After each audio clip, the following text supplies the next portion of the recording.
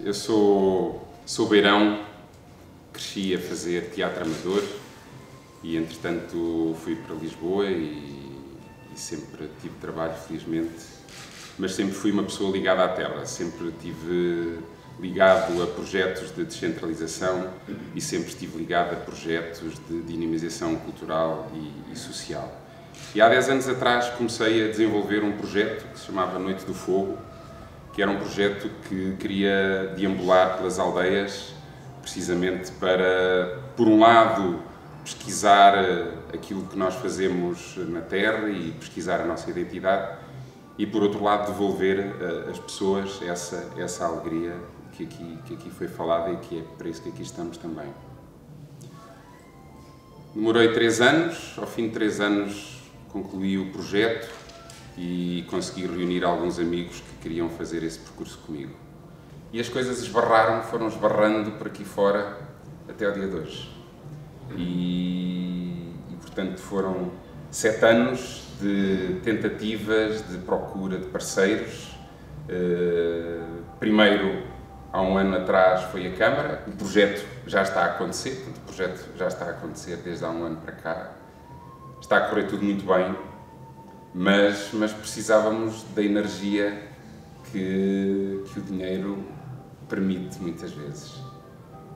Mas mais importante que o dinheiro para mim é haver pessoas que, que acreditam naquilo que estamos a fazer e, e emociona-me estes momentos, assim, as pessoas dizem assim, epá, independentemente de ter ou não dinheiro para dar, eu dou, porque há muita gente que tem muito mais e não dá.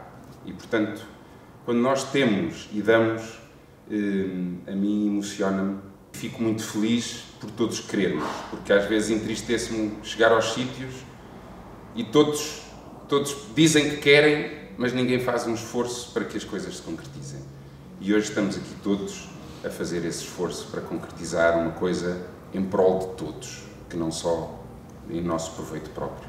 Portanto, um obrigado muito do fundo do coração uh, uh, aos dois e ao, e ao esforço toda a empresa faz, porque vocês são só a cabeça da empresa.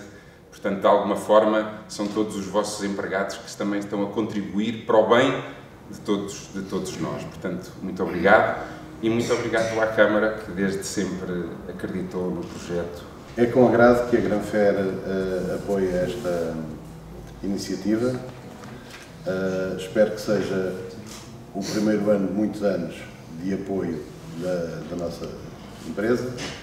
Uh, não sei se todos os, presentes já ouviram falar da Granfer. A Granfer é uma empresa que se dedica à produção e à comercialização de frutas.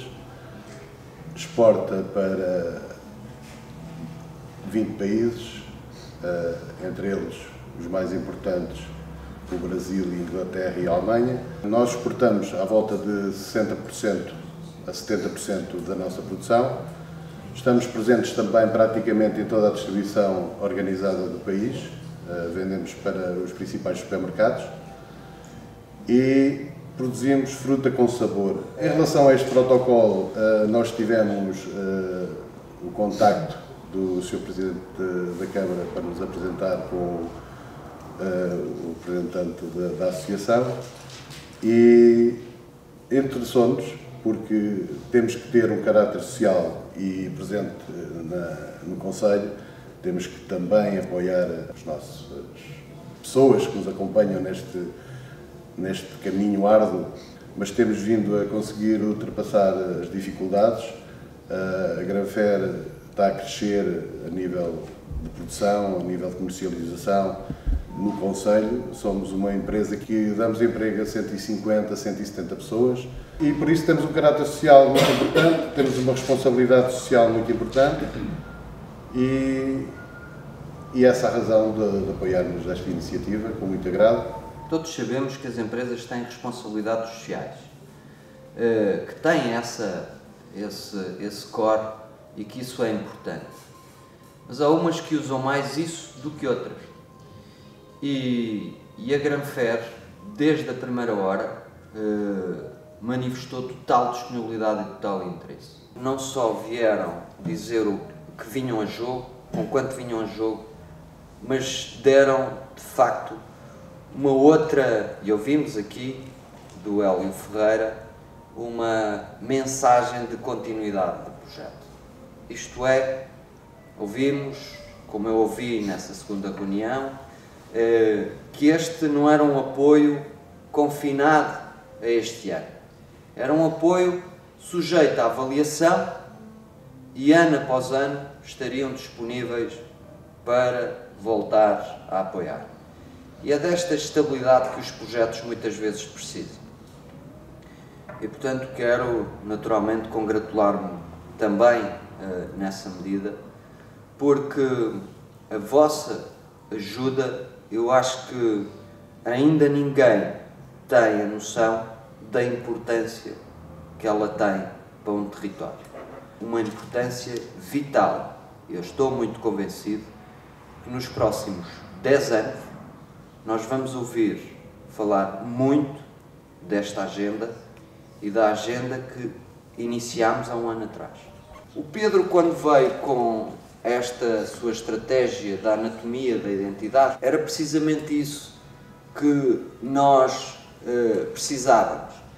Porque se tínhamos e temos a agenda do desenvolvimento comunitário, que é, como quem diz, uma agenda de desenvolvimento local, económico, uh, uma agenda de produção de riqueza a partir dos recursos locais, com a inovação, a criatividade dando novas roupagens, nós precisávamos para isso, digamos, de um outro layer que nos pudesse meter cá para fora essa identidade. A identidade muitas vezes eh, eh, nós achamos ou temos a presunção que a conhecemos e não a conhecemos. Porque é preciso ter este contacto no dia a dia com as pessoas para perceber as histórias, as memórias, as lendas, porque é a partir daí que as coisas começam a fervilhar. É a partir daí que podem começar a surgir novas ideias. Nós começamos com o projeto logo a partir da escola. Esses são os nossos primeiros bastiões uh, que podem começar a enraizar conceitos e a enraizar valores. Foi por isso também não deixámos de participar e de chamar uh, o, o, os ativos menos jovens dentro dos centros de convívio, a, a população em geral, as associações, toda a gente a participar neste, neste mapeamento. E portanto este trabalho é um trabalho de facto de um layer, de uma base extraordinária para que outros possam pegar nela e, e possam acrescentar novos produtos, novas dinâmicas, ter esta agenda da criação de riqueza, que é, se quiserem, uma obsessão que eu tenho. Eu tenho esta obsessão de criar riqueza, que acho que é a única forma de termos uma sociedade coesa e uma sociedade solidária.